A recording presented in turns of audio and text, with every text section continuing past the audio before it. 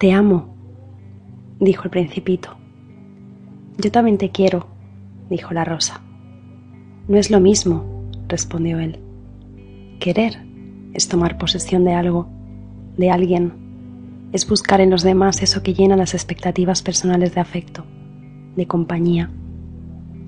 Querer es hacer nuestro lo que no nos pertenece, es adueñarnos o desear algo para completarnos, porque en algún punto nos reconocemos carentes. Querer es esperar, es apegarse a las cosas y a las personas desde nuestras necesidades. Entonces, cuando no tenemos reciprocidad, hay sufrimiento. Cuando el bien querido no nos corresponde, nos sentimos frustrados y decepcionados. Si quiero a alguien, tengo expectativas, espero algo.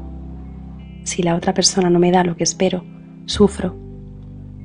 El problema es que hay una mayor probabilidad de que la otra persona tenga otras motivaciones, pues todos somos muy diferentes. Cada ser humano es un universo Amar es desear lo mejor para el otro, aun cuando tenga motivaciones muy distintas. Amar es permitir que seas feliz, aun cuando tu camino sea diferente al mío. Es un sentimiento desinteresado que nace en un donarse. Es darse por completo desde el corazón. Por esto, el amor nunca será causa de sufrimiento.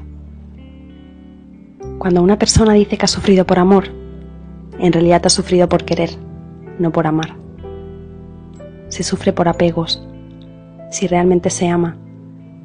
No puede sufrir, pues nada ha esperado del otro. Cuando amamos, nos entregamos sin pedir nada a cambio, por el simple y puro placer de dar.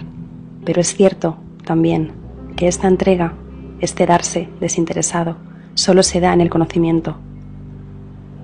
Solo podemos amar lo que conocemos, porque amar implica tirarse al vacío, confiar la vida y el alma, y el alma nos indemniza. Y conocerse es justamente saber de ti, de tus alegrías, de tu paz, pero también de tus enojos, de tus luchas, de tu error.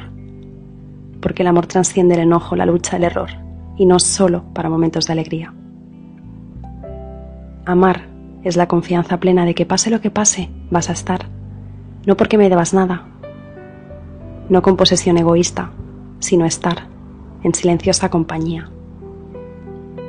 Amar es saber que no te cambia el tiempo ni las tempestades ni mis inviernos. Amar es darte un lugar en mi corazón para que te quedes como padre, madre, hermano, hijo, amigo y saber que en el tuyo hay un lugar para mí. Dar amor no agota el amor, por el contrario lo aumenta. La manera de devolver tanto amor es abrir el corazón y dejarse amar. Ya entendí, dijo la rosa. No lo entiendas, Vívelo, dijo el principito.